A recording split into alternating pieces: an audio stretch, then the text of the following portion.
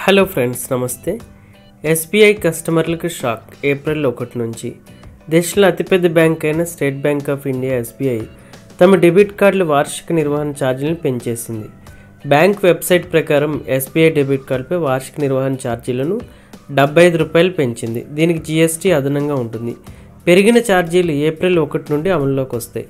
SBI తమ కస్టమర్లకు అనేక రకాల డెబిట్ కార్డులను అందిస్తుంది. వాటికి తదనుగుణంగా వార్షిక నిర్వహణ రుసుమును వసూలు చేస్తుంది.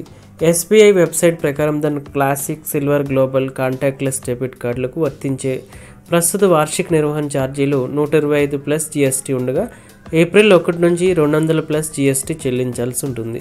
అదేవిధంగా యువ గోల్డ్ కాంబో డెబిట్ కార్డు నిర్వహణ రుసుములు నూట డెబ్బై ఐదు రూపాయలు ప్లస్ జీఎస్టీ ఉండగా ఏప్రిల్ ఒకటి తర్వాత రెండు వందల యాభై రూపాయలు ప్లస్ జీఎస్టీ ఉంటుంది.